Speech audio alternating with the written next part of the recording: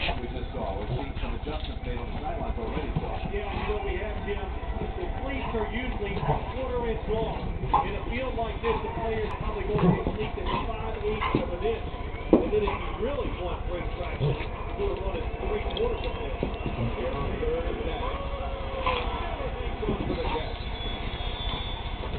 Yes, you got the first down. Bill Miller.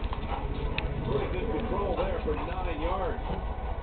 down, knows the first down line where it's at, right in between two defenders.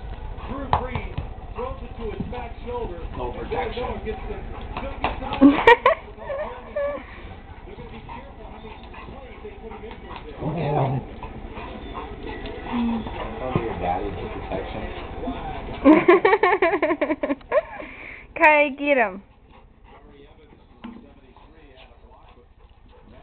You two are being boring.